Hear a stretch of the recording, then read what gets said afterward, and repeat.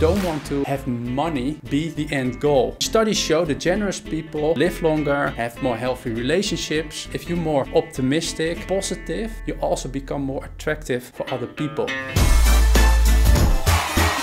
Welcome! If you don't know who I am, my name is Jesse Borst and I'm a professional investor. You need to know that living is giving. You want to use your money in the most effective way. And the only way to achieve happiness is by giving your money away to other people and help them. There are so many people in need and you have the tool in your hand that can help someone else. There are few ways that you can help somebody even if you have, let's say, a relatively low income and maybe struggle to find ways to help somebody financially. Let me give you a few examples. One option is to tip generously and you can help and financially support the people that provide services to you. A second thing, you can buy something for a homeless person. For instance, you buy a loaf of bread and you give that to a homeless person. Or if you know that somebody has a medical condition, you can help them to pay for the medical bills. But if you, for instance, have more money, you can also buy a car for a single mother. There are many ways to help somebody financially. I would encourage anybody to figure out what works best for them. And why is giving so important? First of all, because it separates you from the money that you're giving. And psychologically, that helps you also to make better financial decisions when it comes to investing, spending, and saving. Because it separates you from your money, you can look at it more objectively and not be tempted to think about money, for instance, as a goal as itself. Because money is a good slave but a horrible master. So you don't want to have money be the end goal. You want to see money as a means to achieve your goals. Also, giving has other advantages. Studies show that generous people live longer,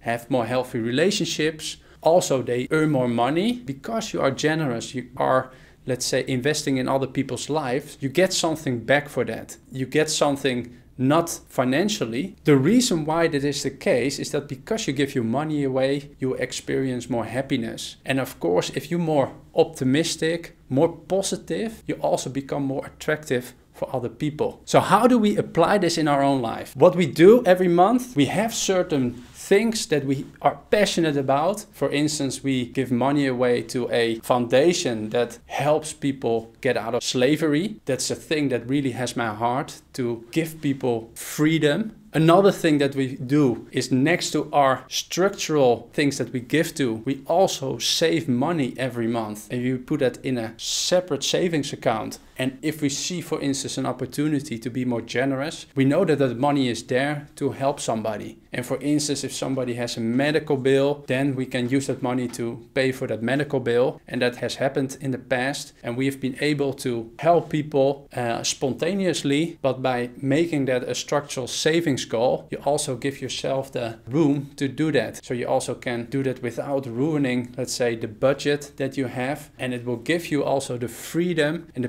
peace of mind to be a grateful giver. Thank you for watching my video. If you like it, subscribe to my channel, give me a thumbs up and share it with other people. If you have any questions, ask them via the comment section and I will answer as soon as possible. See you in my next video.